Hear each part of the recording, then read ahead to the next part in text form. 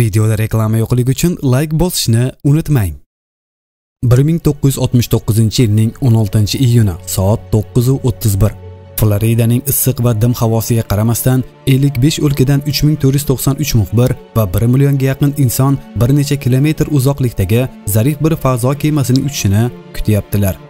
Lekin qiziquvchilar faqat bulardangina iborat emas va yer yuzining turli burchaklaridagi 100 millionlarcha insonlarning diqqat e'tibori kemaga qaratilgan edi. Bugun sizlarga Apollo 2 astronavtlari oyda aslida nimani ko'rgani va qanday ovozlarni eshitganliklarini aytib beraman. Imkon boricha ushbu videoga ko'proq like bosing toki boshqalarga ham yetib borsin. Internet tarmoqlarida faxsh bo'lgan videolar minglab like, millionlab prosmotr yig'a oladi. Allohning mo'jizasi haqidagi rolik qancha like va prosmotr to'play oladi? Buni ham ko'ramiz. Demak, assalomu alaykum. Tomosha qilayotganingiz bu Fakt kanali.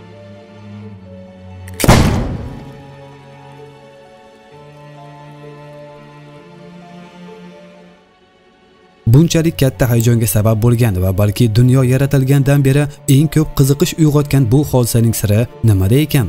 Bu so'roqning javobini astronavtlarning ustozi sifatida tanilgan Wernher var Braundan eshitaylik.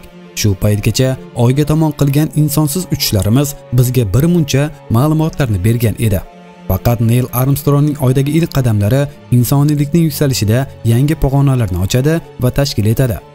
Ha inson o'g'li hayot beshiga bo'lgan bu zamindan ayrilib birinchi marta boshqa bir zaminga oyoq bosish arafasida edi. Apollon ikkinchining kuchli saturn motorlaridan gurillab chiqqan olov va tutunlar oyga birinchi marta oyoq bosajak astronavtlarning kemasini yer orbitasidan olib chiqdi. Apollo 2 ko'tarilishidan roppa rosa 2 soat 47 daqiqadan keyin oyga yumshoqqina qo'ndi va Neil Armstrong 9 pog'onadan iborat zinapoyadan tushib, oyga birinchi marotaba qadam qo'yish sharafiga muyassar bo'ldi. Faqat Armstrongning 14 yildan keyin eshitadigan nuqtasi uning o'ziga oyga chiqib qozongan sharafidan bir necha bor yuqori darajadagi sharafni berdi. Ha, oradan 14 yil o'tib 1983-yilning fevral oyi keldi. Armstrong bir konferensiya bois hayotida ilk dafa bir islom o'lkasiga Misrga kelgan edi.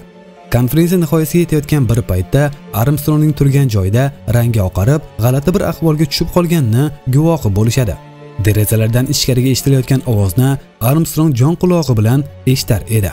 Bir payt birdan Armstrong qattiq seskandi, talabasiga tushib, "Bu qanaqa musiqa?" deb hayqirdi.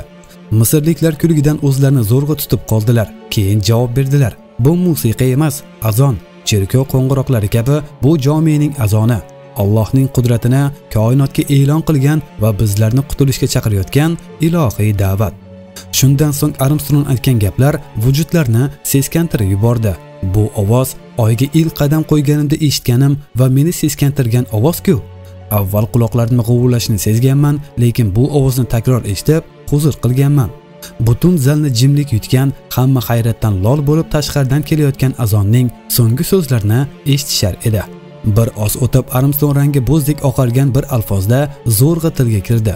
Allohim men seni yerda emas oyda topdim. Uch to'rt daqiqa jim qoldi. Bu hayajon o'laroq uning og'zidan quyidagi so'zlar uchdi.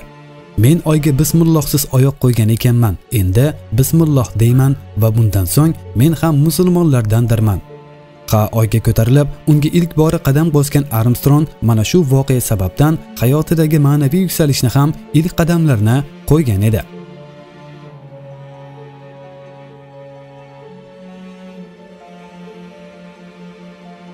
bir ming to'qqiz yuz oltmish to'qqizinchi yil yigirmanchi iyul. Oyga qadam qo'ygan inson ushbu so'zlarni butun dunyoga eshittirdi burgut oyga qo'ndi. Apollo 2 guruhdagilar Aldrin, Collins, Armstrong kuchli ishonchli bir xristian edilar. Kutilmaganda ular oyda g'alati bir jismni ko'rib qoldilar. O'sha paytdagi hamma narsa lentaga yozib olinayotgan edi. Astronavtlarning g'alati jism haqidagi so'zlari lentada. Astronavt Aldrin ochiq kitob shaklidagi bir narsa bor bu yerda. Rosa turg'unliklar dengizining ustida. Astronavt Armstrong ikki halqa kabi to'g'rirog'i bir kitobga o'xshaydi. Astronavt Collins Sekstatning muruvvatini o'zgartirganimda aniq kitob shakli ekanligi yanada yaqqol ko'rinyapti. Yer nazorati. Nimalar deyapsizlar o'zi? Oyda kitob nima qiladi? Ovozlar lentaga qayd etilardi. Ertasi kuni kitob yo'q bo'lib qolgan, ammo endi tashqi bir illat radioni to'xtovsiz ravishda band qilardi. yong'inni o'chirish mashinasining signaliga o'xshash bir ovoz kelardi konlins yer meni eshityapsizmi? Shu ovozni tezda yo'qoting, bo'lmasam quloqlarim tom bita yozdi.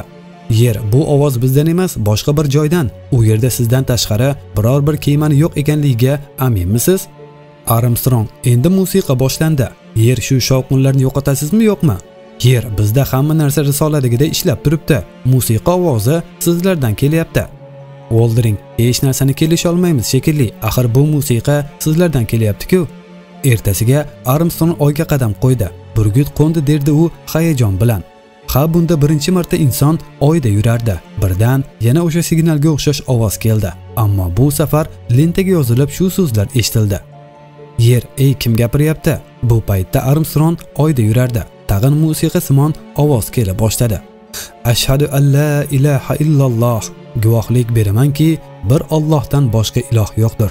Yer, yana o'sha uchar obyektlarmi? haligi musiqaning so'zlari qanaqa edi Collins ashan mahatta rasam bali deganday bo'ldi. Bu hinchaga o'xshaydi. Armstrong men uni oxirigacha eshitdim. Yurakka huzur beryapti. Menimcha afrika radiolaridan biri. O'ldiring frenkasni o'zgartirdim. Yana aynan o'sha ovoz. Bu ovoz oydan kelyapti. Radio to'lqini emas ishonish qiyin bir narsa. Yer aqldan ozdingizmi? Havosiz joyda ovoz nima qilsin? Kollins nima bo'lmasam uchuvchi obyektlarmi? Armstrong kitob shaklidagi uchar obyektlar bo'ladimi? Yer noma'lum bir xastalik, fazodagi biror to'lqinmikin? Bu ovozlar, kitob, ohang bir xayol bo'lsa kerak. Armstrong xayolni kamera suratga oladimi? Xayolot bir ovoz bo'lib magnit lentasiga yoziladimi? Yer, xo'p, lekin havosiz bo'shliqda ovoz tarqaladimi? Oradan ma'lum vaqt o'tib astronavtlar yerga qaytib tushdi. Kasetalar yana bir bor eshitildi. eshittirildi. Bu borada NASAda mas'ul kotib vazifasida ishlayotgan Albaz bilan maslahat qilindi. Bu katta olim oyda eshitilgan musiqa so'zlarining arabcha muborak bir jumla ekanligini ma'lum qildi. Sal keyinroq ayni jumlani Apollo 16 kemasining astronavti Vorden ham eshitdi. Aslida hech kimning ko'ngli to'lmagan edi, biroq baribir nima bo'lganda ham ular imkon boricha bu yangilikni olam ahlidan sir tutdilar.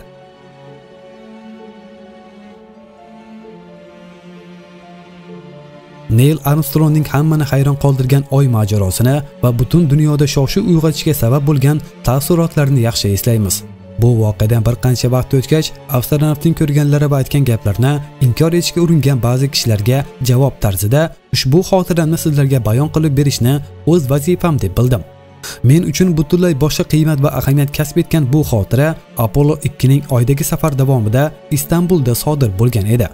O'sha kuni eng yaqin do'stimni ko'rgani borgan edim. Oyga inson qadamini bosishi haqiqatga aylanayotgan kunlar edi o'shanda.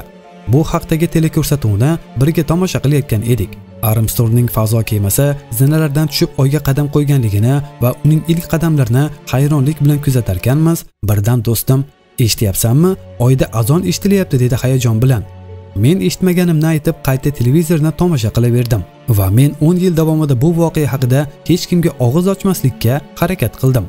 1983-yilda kutilmaganda bir xabar dunyoda bomba kabi portladi. Armstrong bir sayohat davomida eshitgan azon ovozini oyga qadam bosgan onda ham eshitganligini e'tirof etdi. Men esa bu xabarni eshitib, 10 yil oldin do'stimning uyida yuz bergan voqea mobaynidagi gaplarni eslab, vujudim titrab ketdi.